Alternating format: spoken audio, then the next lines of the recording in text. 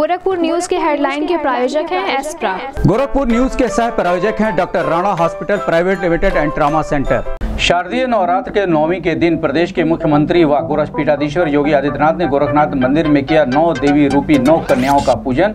कहा सनातन धर्म में की जाती है नारी शक्ति की पूजा। सत्य न्याय और धर्म के विजय का प्रतीक है विजयदशमी का त्योहार।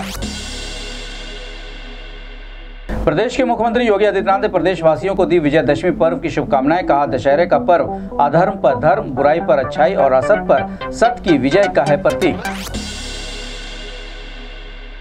पारंपरिक वेशभूषा में प्रदेश के मुख्यमंत्री व गौरवपीठाधीश्वर योगी आदित्यनाथ ने किया श्रीनाथ जी का विशिष्ट पूजन के साथ देव विग्रहों का पूजन। देवी देवताओं के पूजन सहित ब्रह्मलीन महंतों के समाधि स्थल पर भी टेका मत्था लिया आशीर्वाद। विजयदशमी के अवसर पर गोरखनाथ मंदिर से ढोल नगाड़े और कड़ी सुरक्षा के बीच निकाली गई। गोरखपीठाधीश्वर योगी आदित्यनाथ की भव्य विजय शोभा यात्रा मानसरोवर मंदिर में पूजा अर्चना कर उतारी श्री राम दरबार की आरती कहा। कोरोना काल में संयम के साथ मनाए त्योहार, न बरतें लापरवाही।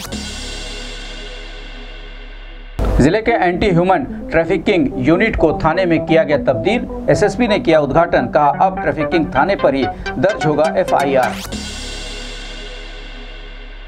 गोरखपुर न्यूज़ के माध्यम से सदर सांसद रवि किशन और राज्यसभा सांसद जयप्रकाश निषाद ने देशवासियों को विजयदशमी की दी शुभकामनाएँ सभी लोगों के उज्जवल भविष्य की, की कामना।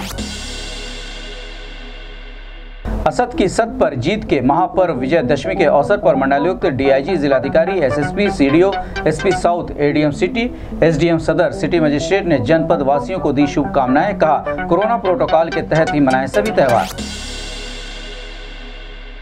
महिलाओं एवं बालिकाओं की सुरक्षा सम्मान एवं स्वावलंबन हेतु शारदीय नवरात्र से वासंतिक नवरात्र के मध्य मिशन शक्ति विशेष अभियान के तहत उत्कृष्ट कार्य करने वाली 133 महिलाओं को किया गया सम्मानित। उनके उज्जवल भविष्य की, कामना।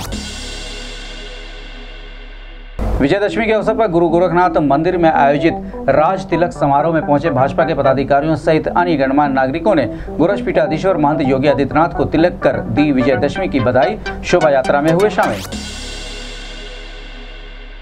गोरखपुर में रविवार को मिले अड़सठ नए कोरोना संक्रमित मरीज़। ज़िले में संक्रमित मरीजों की संख्या हुई 18,620 अब तक 304 कोरोना संक्रमित गंवा चुके हैं अपनी जान। एक्टिव मरीज़ हुए 1117 सीएमओ डॉक्टर श्री कांतिवारी ने की पुष्टि।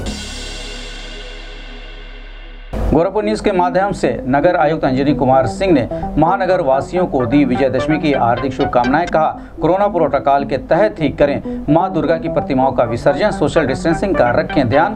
नगर निगम है आपके साथ। अल्पसंख्यक समाज के लोगों ने विजयदशमी पर्व के अवसर पर गाजे बाजे संग निकली।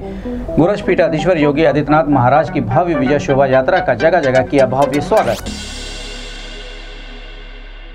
और प्रदेश में नारी सम्मान, सुरक्षा एवं स्वावलंबन को मजबूती देने के लिए मिशन शक्ति और जारी हेल्पलाइनों के बारे में महिलाओं को बेलीपार थाने में किया गया जागरूक।